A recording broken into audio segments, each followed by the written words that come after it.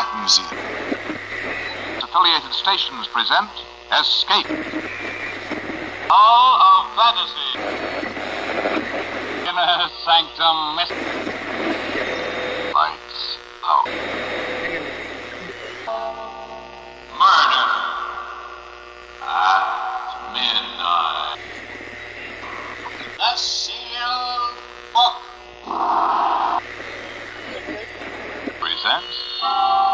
Suspense. I am the Whistler.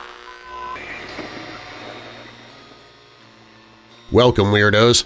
I'm Darren Marlar, and this is Retro Radio Sunday on Weird Darkness. Each week, I bring you a show from the golden age of radio, but still in the genre of Weird Darkness. I'll have stories of the macabre and horror, mysteries and crime, and even some dark science fiction. If you're new here, welcome to the show, and be sure to subscribe or follow the podcast so you don't miss future episodes. And if you're already a member of this weirdo family, please take a moment and invite someone else to listen in with you. Spreading the word about the show helps it to grow. If you're here because you're already a fan of nostalgic audio and print, you'll want to email WeirdDarkness at radioarchives.com. When you do that, you'll get an instant reply with links to download full-length pulp audiobooks, pulp ebooks, and old-time radio shows for free.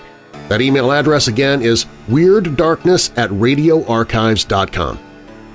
Coming up, it's an episode from The Mystery House.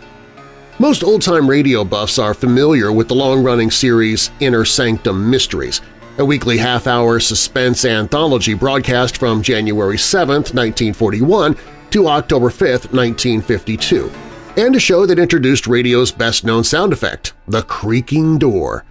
But during its run, Inner Sanctum had a variety of sponsors – Colgate, Lipton Tea, Bromo Seltzer, Mars Candy, but its main responsibility was to promote Simon & Schuster's line of mystery novels that bore the same name, Inner Sanctum Mysteries, though the radio dramas themselves were for the most part original productions.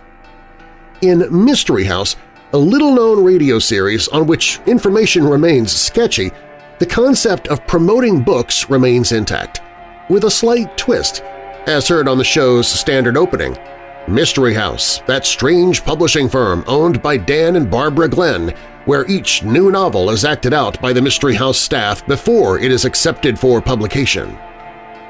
At the risk of resorting to atrocious puns, this was a rather novel inspiration. The old Mickey Rooney, Judy Garland, hey kids, let's put on a show idea applied to the publishing world. Mystery House staffers would perform in each half-hour drama, while others would provide sound effects, rewrite scripts, and so on. But could this really succeed as a business model? Would people buy a mystery book if they already knew the ending? Remember, this was a radio show saying that it was bringing the stories before the books were published. An interesting question considering how little information there is available about the firm, or if in fact this firm even existed. Research into this query turned up an address for Mystery House at 70 Park Avenue in New York City, where a hotel now stands, and that the publishing firm ceased operations sometime after 1964. As for the broadcast history behind the series, the Shroud of Mystery remains intact. Newspaper archives report a series with that name as having been broadcast in 1929 over WGN in Chicago, and apparently still on the air as late as 1951. The show was broadcast in a variety of formats, sometimes as a weekly half-hour, sometimes as a five-day-a-week quarter-hour show. Mystery House has also been associated with appearances on WOR in New York. Both WOR and WGN were flagship stations of the Mutual Network at the time. Complicating matters further is the existence of an audition recording recorded at the NBC studios in July of 1944 for a program also called Mystery House, which was referred to as Bela Lugosi's Mystery House, and features the movie's most famous vampire, who was slated to have been the host had it been picked up as a regular series alongside another cinematic Dracula, John Carradine, with announcer Ken Carpenter in support.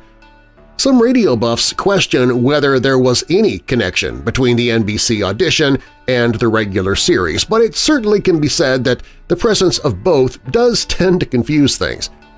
Because newspaper articles have reported that the Mystery House series was a popular program at WGN, stating that live audiences were encouraged to attend the broadcasts, one could assume that the bulk of the shows currently available are from that time period, as a lively studio audience can clearly be heard during the middle intermission of many of the shows, including tonight's. Furthermore, with the exception of the Lugosi audition and the episode Death Passed By My Window, which we'll be listening to tonight, none of the remaining Mystery House programs that are available at radioarchives.com are in general circulation, which might mean very well that this is one of these programs' first appearances in old-time radio collectors' circles. So this should be a real treat, even for those who have been listening to old-time radio for years.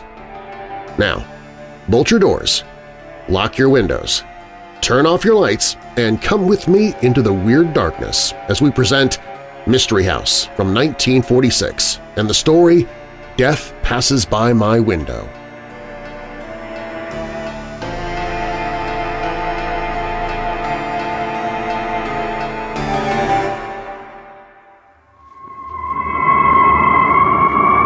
Mystery House.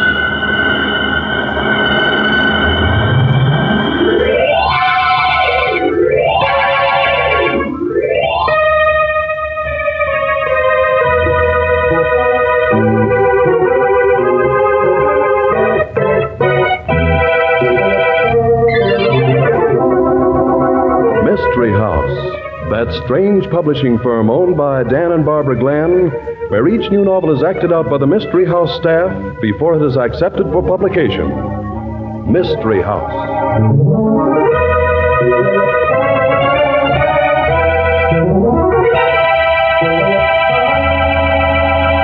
Say, Barb, you said the novel we're acting out for Mystery House tonight has a detective who never even sees the scene of the crime. That's technically correct, Dan. At least she never gets on the premises. She? Yes, the girl's an invalid. Oh, that sounds impossible. Oh, now don't use that word, Mr. Glenn. Nothing's impossible. No, well, I can think of a good many things that nobody's ever been able to do. Well, I can remember when people said it would be impossible to make the radio commercials as interesting as the show itself. But listen to this.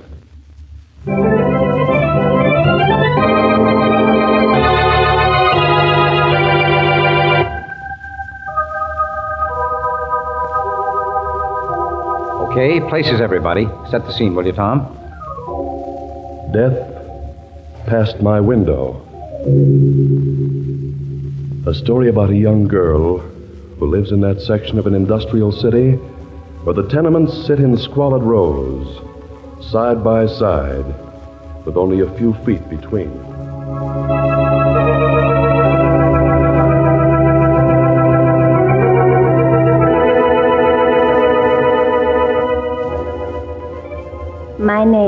Hope Graves. I've been a hopeless invalid for eight years, ever since the night a hit and run driver struck me down. I lie in my bed now in a dingy room of a crowded, faded tenement. My one window stares at a window in another tenement almost directly opposite. That window and the girl who lives behind it have become friends of mine. Morning, Hope. How's the back today? Much better, thanks, Jenny. If you were telling the truth, you'd have the finest back in the world. Always better, every morning. Did Eddie bring you home last night, Jenny? Yep, as per usual. Why don't you bring him up to your room sometime, Jenny, and get him in front of your window so I can see him? Hey, not so fast, chum. Nice girls don't bring their boyfriends to their rooms. Even when the girl happens to be a nightclub dancer and the boy's a sax player in the dance band. I'll bet he's handsome. No, I wouldn't say he's handsome. But he's kind of a sweet kid. He can sit in a crowded, noisy, smoky nightclub all night long, night after night, and, and still not be there at all. Know what I mean? Mm-hmm. The way I go sailing out on the lake in a little racing sloop. Like I shop the beautiful stores on the avenue. Poor kid. You with your one little window. But I do have one window. You know, Jenny, I sometimes wonder if people realize what wonderful inventions windows are. You silly goose. Well, I got a lot to do this morning. Had to sew on some costumes. So long.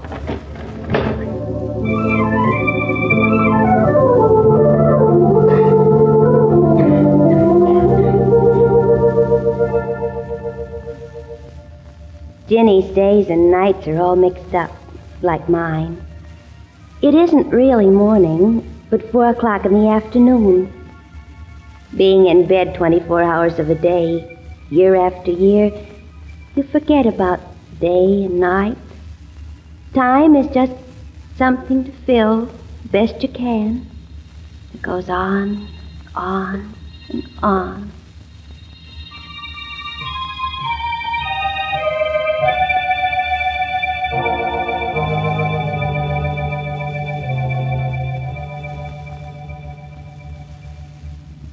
Night.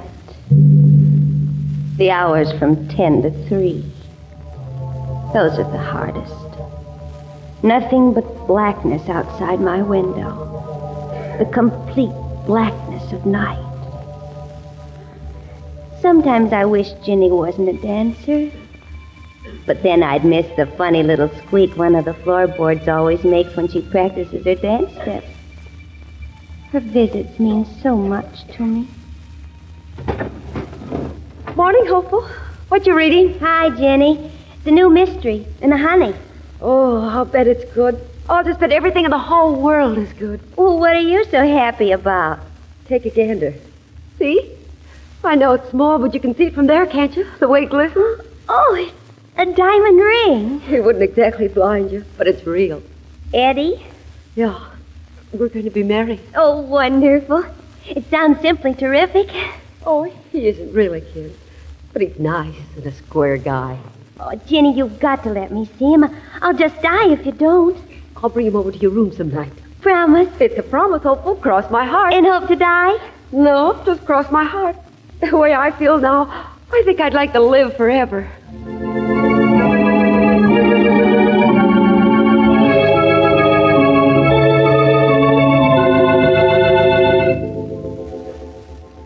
Days and nights form a pattern, not all alike, but each like some remembered one from the past. One I know I've lived before, and one I'll live again. Ready for me to turn out your light, dear? Yes, thank you, Mother. I brought you something for tomorrow, honey. Oh, what? It's one of the Flamand stories. The Case of the Insolent Din. I got it from the rental library. Oh, gee, it's a big book. Oh, Mother, you're wonderful. Good night, dear.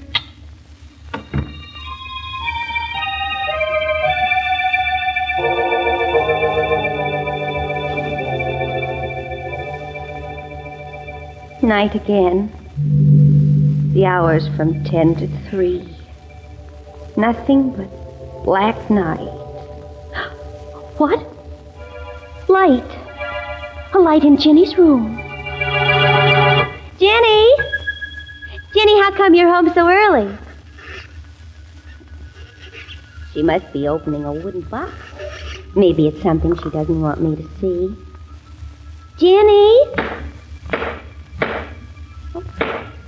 The squeaky place in the floor. She's fixing it. And I wish she wouldn't. Miss it. A lighted cigarette stub being thrown out of the window. And Ginny doesn't smoke. Why didn't Ginny answer me? I guess she brought Eddie up to fix the squeaky board. She didn't want me to know he was there. But I didn't mean to be nosy. She has a right to a little privacy. I, I just won't say anything to her about it.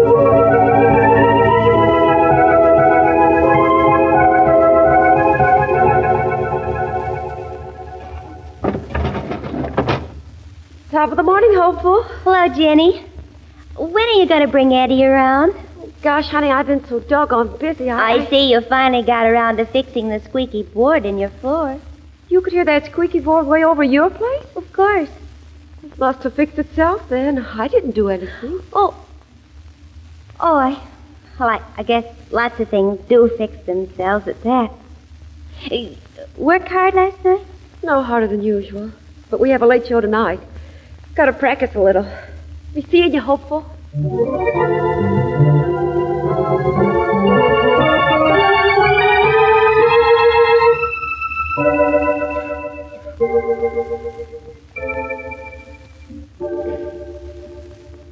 12 o'clock.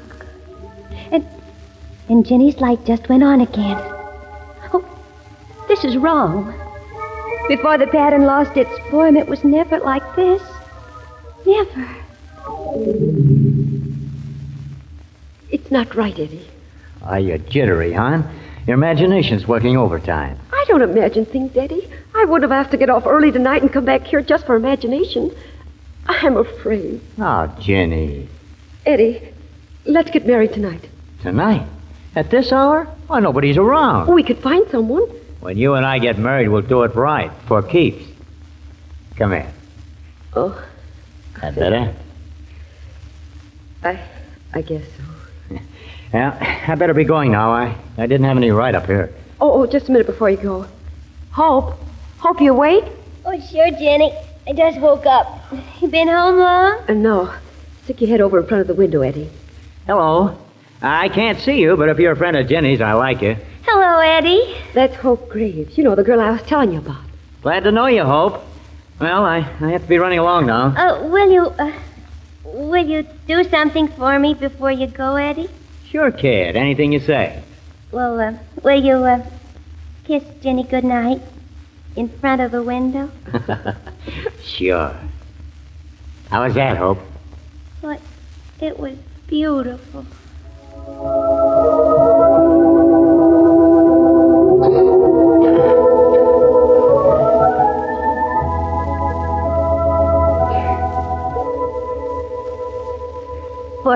In the afternoon.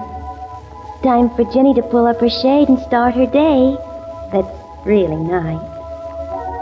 It's funny. I've never been jealous of Jenny's dancing feet, but today I am. She has a Prince Charming, and I'll never have one. I'll go on getting excitement from books, but I'll think of Jenny and her Eddie. I'll think of the misty sparkle in her eyes when Eddie kissed her last night. I'll think of it because it was so wonderful. And because I I can't have it ever.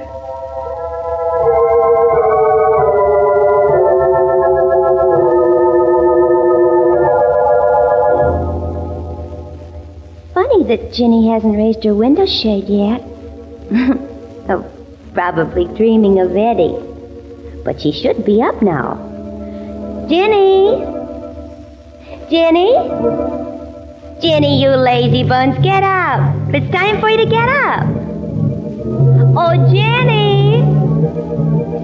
Jenny, is something wrong? Answer me, please. Jenny, I'm worried about you. Say something, please. Jenny! All right, open up, miss. You got your landlady worried. It's Emmett Bryan, Virginia. You know, the cop on the corner. Come on now, open the door like a good girl. Out of the house ordinarily she is by this time, Officer Bryan. I called and called and it don't do no good. Virginia, are you opening the door now? Answer me. You got a pass key, Mrs. Schultz? No, these doors all got good spring locks. And the key to this one is locked. All right, stand back then, Mrs. Schultz. There's nothing for it but to bust in the door. See. Wait. Saints have mercy on her soul. Poor little kid, her head all caved in with a hammer. Wait a minute. What's this? Why, it looks like a long, heavy black silk necklace. Yeah, but it's got a snap hook on it. No, it ain't a necklace, Mrs. Schultz. What is it then? And I think maybe it's something that's going to hang a man. No, Officer Bryan, no. You're all wrong. I know what that thing is, and you're wrong. Oh, I am, am I? Oh, yes. Well, what is it then? Well, it's a thing saxophone players wear around their necks to hold their instruments. Yeah, that's what I thought it was. Oh, but it couldn't be Eddie. It, it just couldn't be. Oh, Eddie, huh? So Virginia had a boyfriend named Eddie, and he left a saxophone card in her room. You know when he left it? Oh, I. No. No, I don't. You know his last name. You know where he lives. No. You don't know, or you just won't tell me. I said I didn't know. I heard you. But I've been around this neighborhood too long to be fooled all the time. Now, if you do know anything, kid, you should tell it fast. Why? If you know something that'd pin a murder on somebody, that somebody would try another murder to keep me from getting the answer. And you wouldn't be able to defend yourself very well.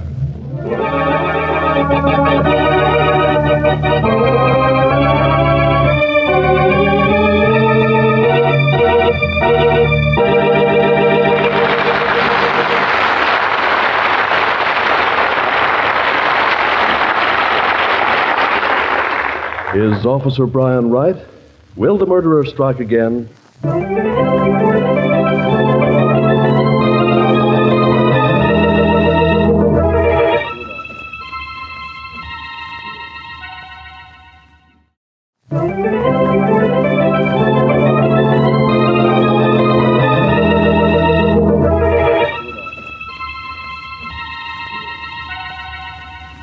And now, Act Two of Death Past My Window opens at the battered door of the murdered girl's apartment. Somebody is knocking. Ginny, you're late for work. What's the matter, honey? Ginny! Ginny! What? What the devil? A cop? What are you doing here? Where's Ginny? She's down at headquarters, kid. Oh, no.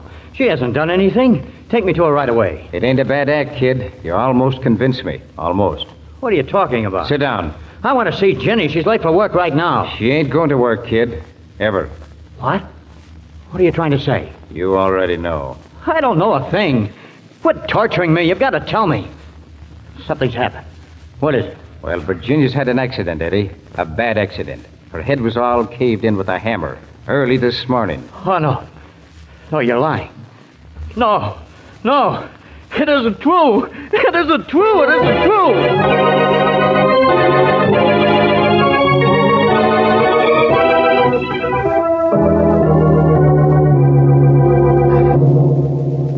This is death I've met. It passed my window not 20 feet away, and yet invisible. In detective stories, death is always exciting. But this was Ginny, my friend. And it isn't exciting at all. It's just horrible. Where were you at four o'clock this morning, Eddie? I. I don't know. Did you bring Virginia home? Uh, yes, yes, I did. How did you get into her room? I didn't get into her room. Eddie, no. Brian knows you were there. He found your saxophone cord. Hope, tell him. Tell him I didn't kill Jenny. I've already told him, Eddie. You mean you told me you didn't see him do it? But that doesn't mean he couldn't have. All right, come on, Eddie. Where? Down to the police station. Oh, you're making a mistake, Officer Bryan. Don't worry, Eddie. Everything will come out all right. Worry? I'm through worrying. There's nothing to worry about, or hope for, or, or dream about anymore. And everything won't come out all right. It's no good, kid. Goodbye, Eddie. I'm sorry. I'm sorry, Hope. Hope. That's a good one, that is.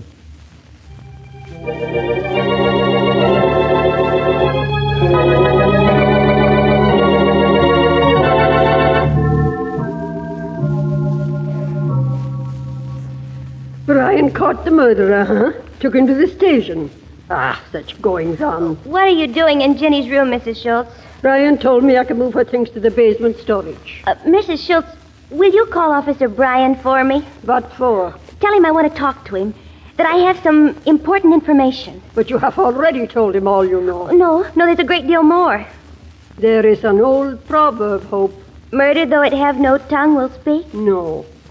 People who look for trouble usually find it.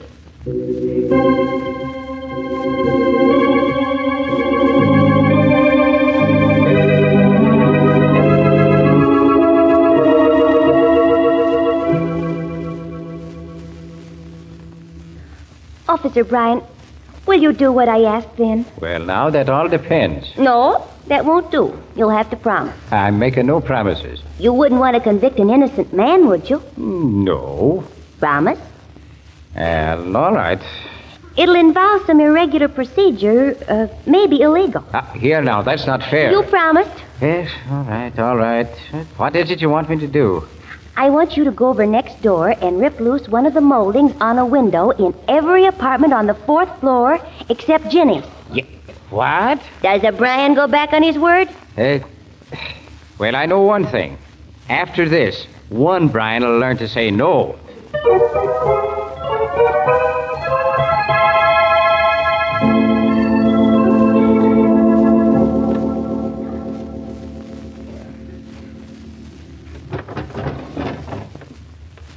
Did you get them all, Officer Bryan? Yeah, fake phone calls to get people out, breaking and entering, destruction of property. Huh, and me a policeman, too. Yeah, I got every apartment on the fourth floor. And may Captain O'Houlihan never hear of it. Well, thanks, Brian. Now, all you have to do is wait. Wait? Sit over here in this room all by myself and wait? Wait for what? Just wait. And don't worry about being alone. We can visit. Hey, listen. Some of my destruction's being repaired. Yes, that's apartment 4D, isn't it? Sounds like it. Mr. and Mrs. Gutowski. He's a section hand, and he's not the one. Not the one. What are you talking about? Never mind. Just wait. Try to have patience.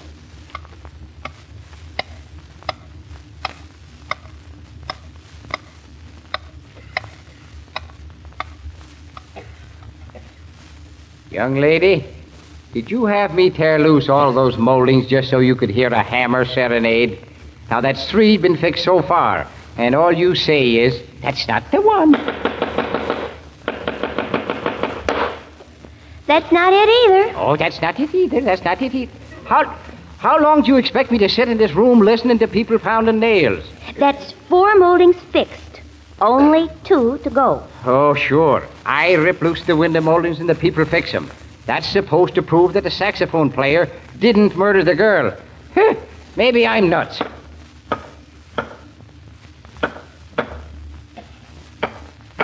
Brian! What? That's it. Huh? What apartment's it coming from? Uh, uh, 4C across the hall. Get him, Brian, quick. Get him before he runs away. He killed Ginny.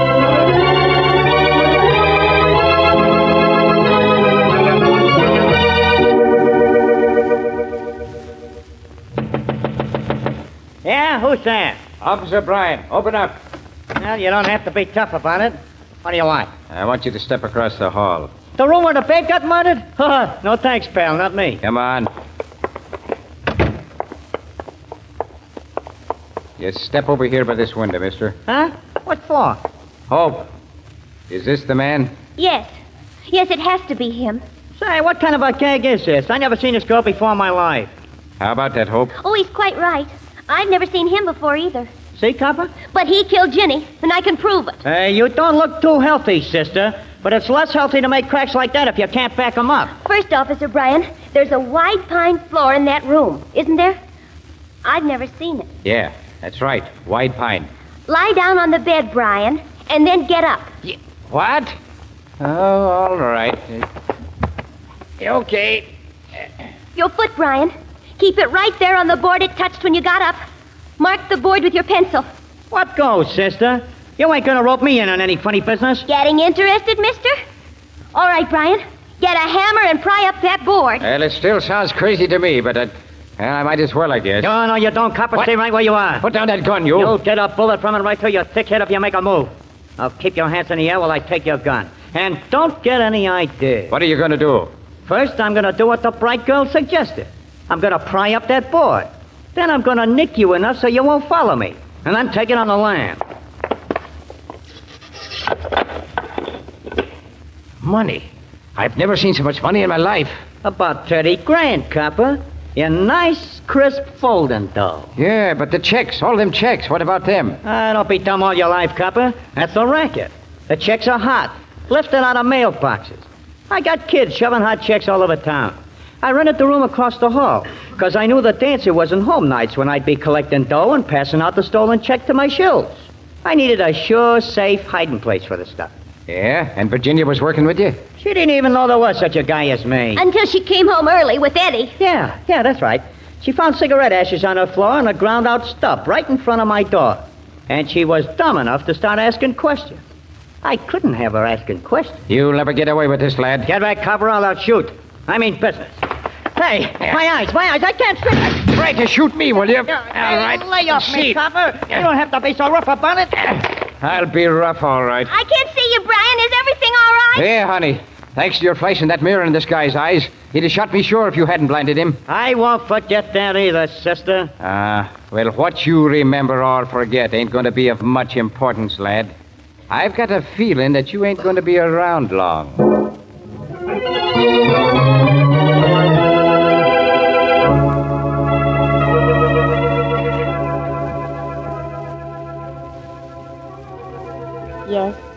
My name is still Hope Graves. I'm still a bedridden invalid. Yet, somehow, I don't feel at all like the same person who started to tell this story. The pattern has shifted back to its usual form, but for me, things will never be the same. I'll always know it can change, that my routine isn't set in a drab, colorless schedule that will never vary. Life, even for me, can be exciting.